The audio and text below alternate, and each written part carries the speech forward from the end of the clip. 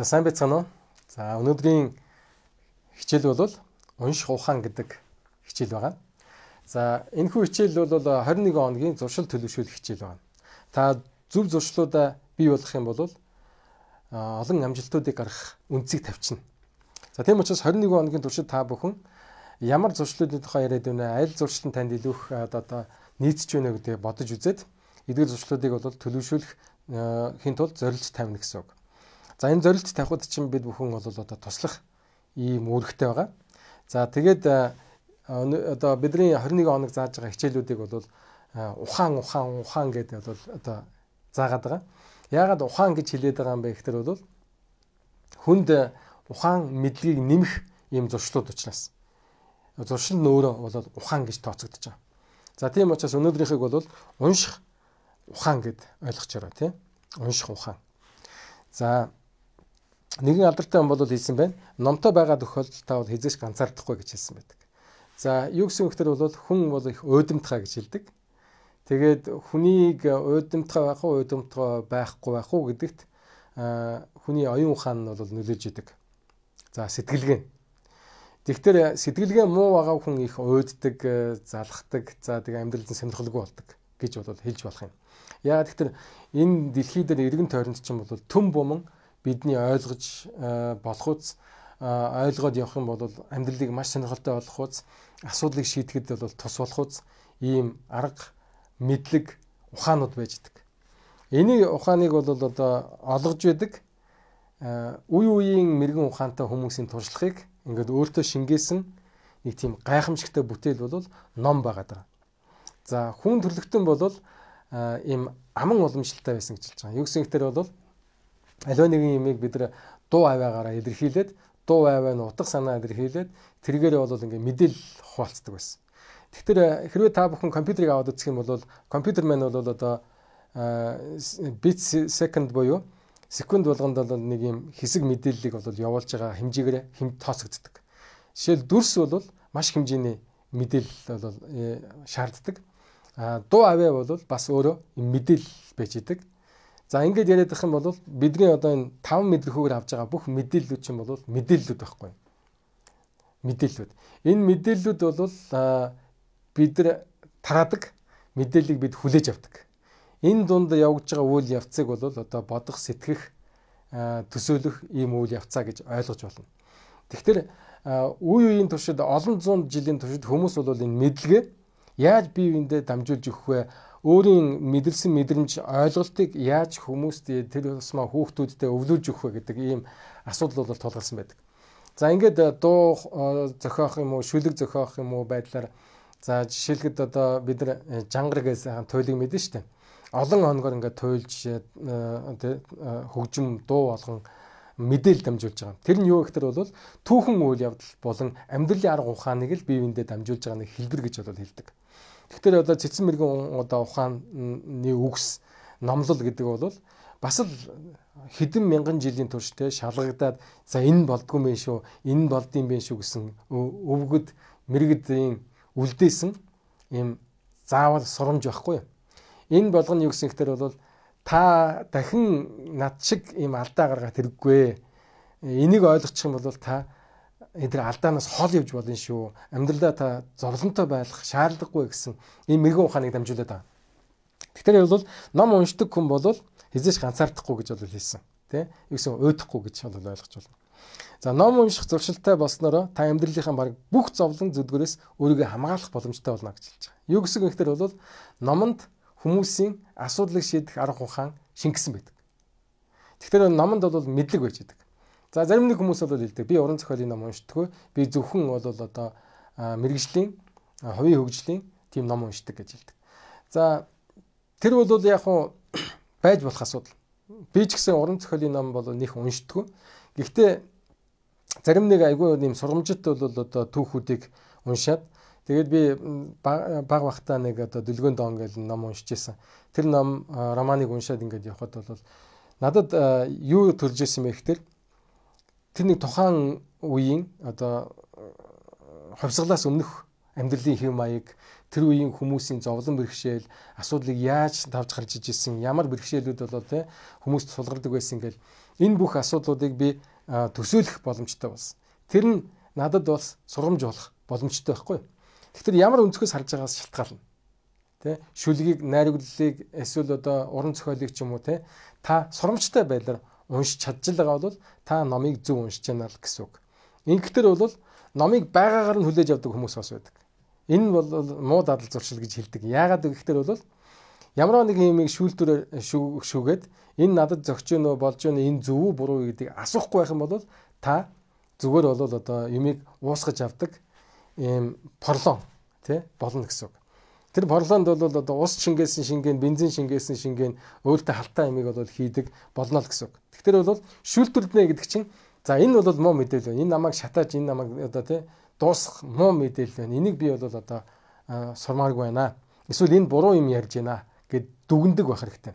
А энэ бол зөв. Тийм учраас бол одоо би энэ зөв юмыг бол үлгэрлэмээр энэ дураамаар байна гэсэн ийм шийдвэр гаргаж чадж байгаа бол та аливаа нэгэн мэдээллийг ингээд шүүлтүүлж чинь гэсэн үг. За би одоо маш олон ном унших явцтай хичээлийн ажлын тэгээ сонирхлын үүднээс уншиж байгаа номнуудаа ингээд үзэхэд ер нь зарим нэг хүмүүс бол ном бич хэрэггүй байх гэсэн тийм дүгнэлтэнд төрсэн. Ягаад гэхээр бол хэрэгтэйргүй маш олон одоо тий ажил холбогдлохгүй ийм мэдээллүүдийг бас ингээд хүнд өгдөг. Тийм зохиолчтой байна. А эсвэл нөгөө талд нь бол маш уран яруу бүр ингээд нэг ганц сойрхон үгээр дамжуулаад хүний сэтгэлийг бүр ингээд тий хөдөлгөж өөрчлөх үз тийм үгсийг бичиж чаддаг бас хүмүүс идэг байна. Тэгэхээр бол энэ бол хүмүүсийн нөгөө мэдээллийг дамжуулах чадрын хэмжээ л байх л та. За тийм учраас та бол номонд бас хэмжээ хязгаартай шүүлтүртэй хандах нь бол ном унших чухал зарчмуудын нэг. Хүн болгон бол ном уншия гэсэн бодол төрдөг болов ч гэсэн яг аваад уншиж байгаа нь бол цөөхөн байдаг. За ном баг унших тусам та номыг уншиж унших дадал зуршлыг сорохгүй гэсэн үг. Өнөөдөр номын сан юм уу эсвэл одоо интернетээр ороод үзэх юм бол үү төмөн ном байна. Одоо бодож болох бүх салбараар бүх чиглэлээр одоо маш их ном гарч ирж байна. Яг өнөөдөр ингээд бидний яриа байгаа ч гэсэн бол хэдэн зуугаараа ном болов шинээр хэвлэгдэж бичигдэж явж байгаа. Энэ процесс үргэлжилж байна. Тэгэхээр бол энэ далайн ус шиг энэ их хэмжээний номнууд дотроос бид одоо яаж ном уншиж сурах вэ гэж бол одоо асуух нь хамгийн чухал асуулт. За би докторийн хичээл ингээд үзээд явж байхад бол нэг хичээл болгон дээр багш бол ойролцоогоор 400-аас 500 номыг бол та нар эргүүлэх хэрэгтэй гэж бол яг энэ сэдвийг судлаа ерөнхий ойлголт авъя гэж бодож байгаа юм болоо гэлдэг. Анх оюутан бол тэгэл би одоо юу хийчихвэ ийм амар юм би одоо яаж давах юм бэ? Энэ бол байж боломгүй асуудал гээл багштайгаа уулзаад багшаа таны тавьж байгаа шаардлага бол дэндүү их байна. Энэ боломжгүй. Энийг бол ямар ч зөв оюун ухаантай хүн бол хийж чадахгүй Гэл хэлэнгүүд багш хийдэг учраас хийлгэж байгаа учраас энэ шаардлагыг тавьж байгаамаа. Гол асуудал нь яаж уншихтал байгаад байгаа юм гэл. Ингээд 2 э, жил сурсны эцэст бол э, за ер нь номыг бол ингэж унших хэрэгтэй байна гэдэг дадлыг өөрөө бий болгож байгаа. Яагаад гэвэл ингээд шахалтанд ороод тий тэр олон номыг бол одоо ингээд дүгнэх аль нь зөв аль нь буруу юм ярьж гэнэ үү энэ одоо дэвшүүлж байгаа санаа нь зөв юм уу буруу юм уу гэдгийг ойлгох хэмжээнд хүрэхэд бол дадал зуршил хэрэгтэй юм байна гэдгийг ойлгосон. Тийм учраас би та бүхэнд юу гэж хэлэх гэж байна гэхээр бол 7 хоногт та нэг номыг дуусгах ийм зорилт тавиад эхлэх юм бол та бол 7 хоногт тэр номыг бол дуусгах шаардлагатай болно. Тэгээд ингээ хүн шахагдаад эхлэнгүүд яадаг вэ гэхээр бол номыг яаж хурдан унших вэ гэдэг дадлыг бол өөрөө өөртөө бий болгож эхэлдэг. Яагаад гэхээр ном гэдэг маань өөрөө юм бүтцтэй. Тэр бүтцийг нь ойлгох хэрэгтэй болно хэлэх гээд байгаа санааг нь та ойлгочих юм бол энэ санаа давтагдаал байна уу эсвэл шал өөр өөр санаанууд нэмэгдээд байна уу энэ санаа зөв үү буруу юу гэдгийг яаж тайлбарлаж байна ямар жишээ татж байна уу гэдэг дээр бол та анхаарал хандуулж эхэлнэ гэсэн үг. За ингээд нарийн ширийн зүйлийг яриул бол маш их олон юм байна. За тийм учраас би бол цааш нь одоо жоохон дадал руугаа оръё. Тэ та бол одоо хичээл юм уу ажлын шаардлагаар мэрэгжлийн эсвэл уран зохиолын одоо янз бүрийн номлоо бол орох шаардлагатай болдог. Эсвэл та ингээл одоо өнөөдрийн өнөөгийн нөхцөл байдал утсан асаалаа тексттэй л ажиллаж байгаа. Маш олон мэдээлэл текстээр бол одоо ирж идэг. Тэрийг бол нэг та уншиж байгаа гэсэн үг. Ингээд бол одоо унших үйл явц гэдэг бол хүний тархинд бол маш сайнаар нөлөөлдөг. Яагаад гэвэл та харах энэ мэдрэхүүгээрээ дамжуулаад энийг юм дүрснүүдийг үсэг болгоод үсгээ та үг болгоод үгүй үгээ бол одоо өгүүл болгоод тэгээ тэргээ бол төсөөлж эхэлдэг. Энэ төсөөлөл бол хүний тархийг бол хамгийн их ажилуулдаг буюу зөв дадал зуршлыг бий болгодог юм одоо арга байна. За тийм болохоор та санаагаа бичих юм уу, санаагаа унших юм уу, ямар нэгэн текст ажиллаад эхэлж гин гэдэг бол одоо та юм уншиж байна л гэсэн үг.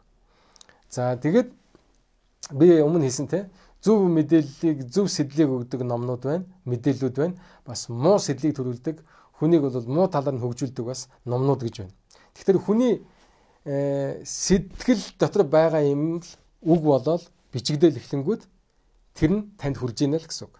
Тэгэхээр та муу юм яриад байдаг те дандаа ховж ярьдаг эсвэл юмыг сөргөөл нь яриад байдаг тийм хүмүүсийн ингээд яриаг сонсох төр ингээд гутардаг гэхгүй.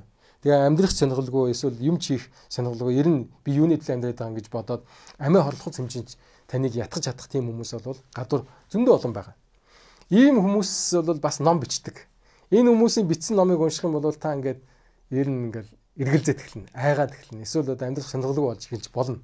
За бас хэд их ингээд юм сэтгэл хөөрсөн те Хэвээ та бол одоо энэ дэлхийн цагийн ганц хамгийн одоо чухал хүн та өөрийгөө л одоо хайрл та өөрийгөө шагнал гэл ингээд байвал бас хүнд ингээд юм муу сэтлийг бас төрүүлж муу аргаар муу үйлдэл хийдэг тийм хүмүүс болоход бас нөлөөлж болох юм. Тэгэхээр бол хүний э, сэтгэлд ургаж байгаа бодол санаа энэ үсгээр дамжуулан үг болоод ирж гин шүү гэдгийг та бодох хэрэгтэй. За тэгэхээр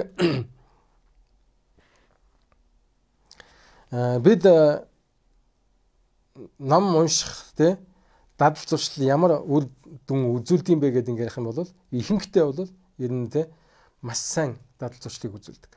За зарим нэг хүмүүс асуудаг э, ингээд ном уншиж байгаа номны цаахан солиотой болцсон хүмүүс байдаг юм байл шүү дээ гэж ингээд ярьдаг. Тэр бол ном унших аргыг буруу ашигласнаас юм уу сэтгэл зүй бол одоо тогтворгүй байдлаас болоод ийм асуудлууд бол үүсдэг.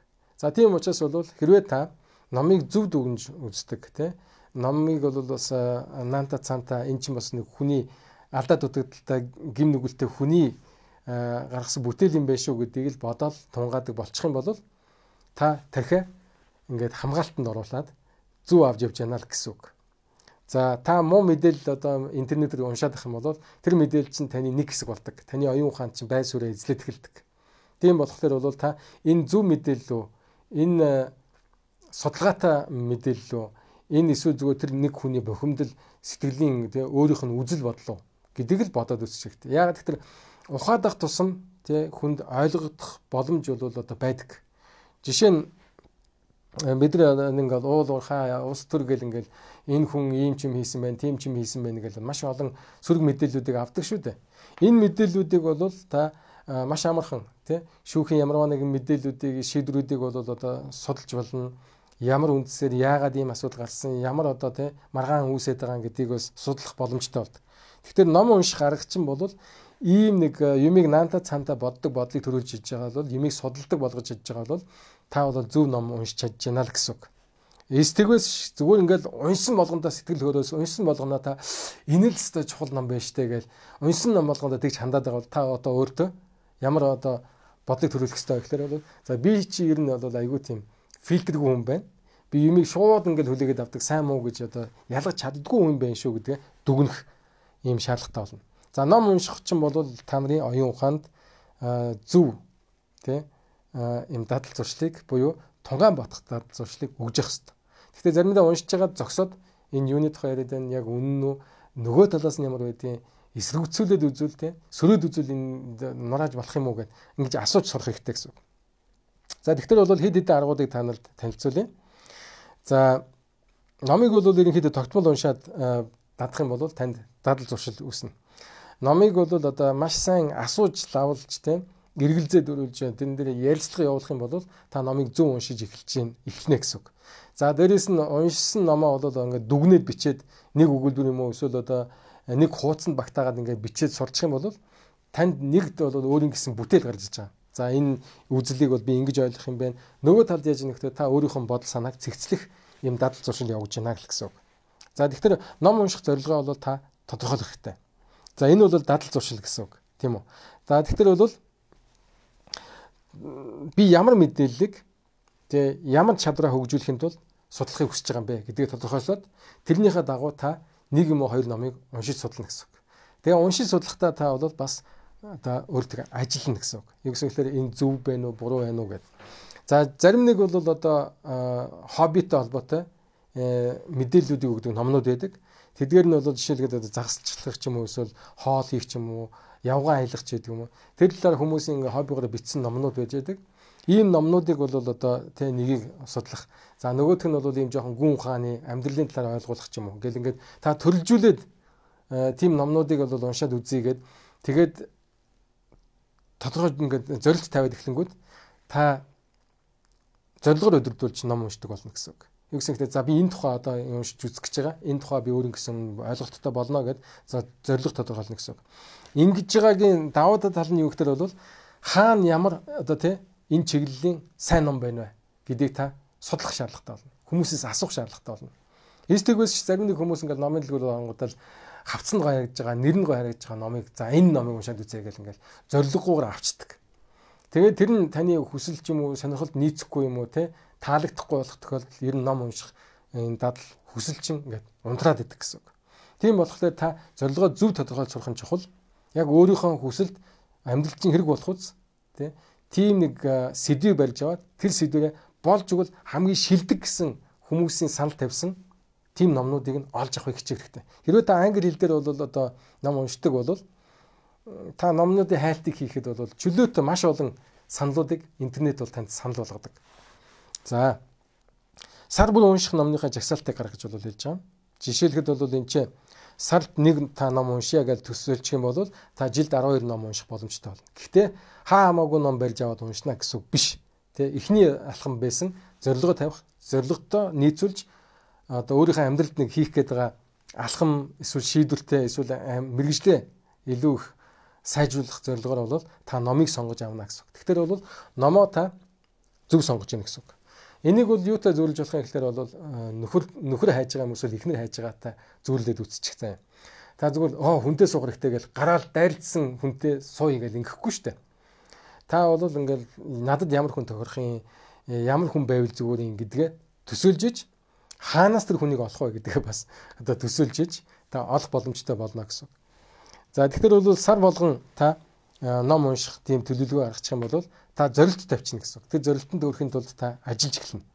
За боломжтой бол та 7 хоногт нэг удаа тий их сард нэг удаа бол уншдаг дадалтай болчих юм бол дараагийн удаа явах гэхээр бол 7 хоногт нэг удаа уншдаг болоод эхлэх юм бол таны оюухаа өөрөө ингээд тэлээд байна гэдгийг та ойлгож эхэлнэ. Та хүмүүсийн хэлж байгаа саналыг шууд тусгаж авахаас илүү Миний уншижсэн жил чинь тийм байдсан. Миний уншиж байгаа тэгж бодож ирсэн. Тийм нэг судалгаа байд юм билээ шүү дээ.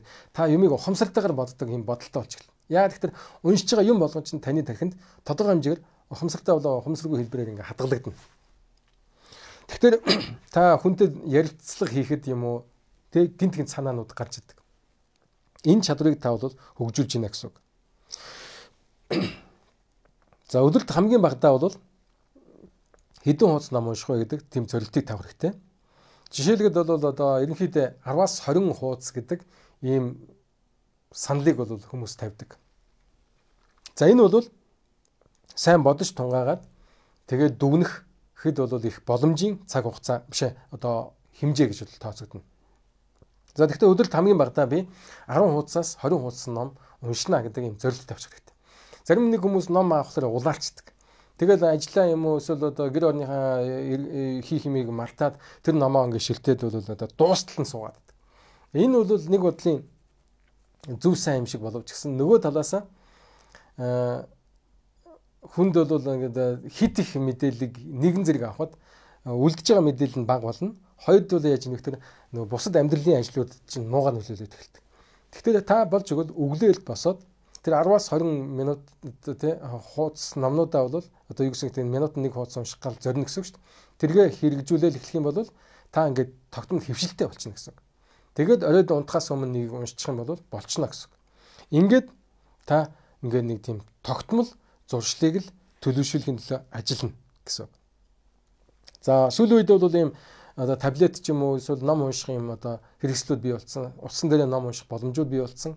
За тийм учраас бол ийм одоо дижитал хэлбэрээр ном унших аргыг бас өөртөө сайн төлөвшүүлээрэй. Мэдээж цаасан ном уншихаас бол ялгаатай.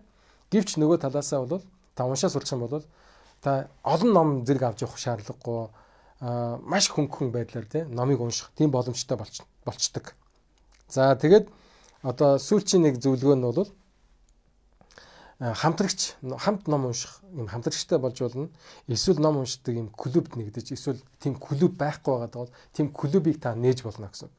Юу гэсэн ихтэй та уншиж байгаа юм аа ингээд хүмүүстэй ярилцах тэр хүмүүсийн өөр өнцгөөс тусгаж авч байгаа сонирхолтой юм өнцгийг харж эхэлнэ. Ном унших бүр сонирхол сэдэлчин бүр илүү төрнө. Э, дээр нь бол одоо та номныхаа үнд цэнийг бол илүү гаргана гэсэн үг. Яг тэгэхээр нэг номыг 20 мянгаар худалдаад авсан байсан бол тэр номоо хуваалцаад тэр хүний уншиж байсан номыг одоо э, зөрүүлээд унших боломж төрнө гэсэн. Ингэснээр та 20 мянган төгрөгөөр 40 мянган төгрөгийн номыг юм уу 60 мянган төгрөгийн номыг унших боломжтой болчихно гэсэн. Ингээд бол та э, хуучин ном буюу хуучин ном борлуулдаг хямдхан тийм бол одоо номнуудыг сонирхоод үзээрэй. Маш сонирхолтой сонирхолтой номнууд хүмүүс нэг уншаад тэгээд бол одоо хэрэггүй гэд хямдруулаа зарж яадаг. За тиймэрхүү тиймэрхүү байдлаар бол та санхүүдэд хүндрэлгүйгээр тэгээд сонирхолтой байдлаар ном унших боломжтой. За тэгэхээр ном уншина гэдэг бол чухал дадал зуршил шүү. Би бол баг одоо олон дадал зуршлуудын чинь баг үндсөөр болдог юм дадал зуршил гэж одоо хэлдэг учраас би бол та бүхнийг саяны миний хэлсний дагуу төлөвлөгөө зорилт гаргаараа гэж бол хэлмээр байна. За тэгээд гарын авлага дээрээс та бүхэн илүү наривчлан алхмуудыг бол одоо үзээд өөртөө тохирох алхмуудыг та сонгоод хамгийн багадаа нэг алхмыг бол хэрэгжүүлж эхлэрэй гэж зөвлөж байна. За та бүхэнд амжилт хүсье. Маш сайн дадал зуршлууд одоо суух болтгой гэж бол одоо ерөөё.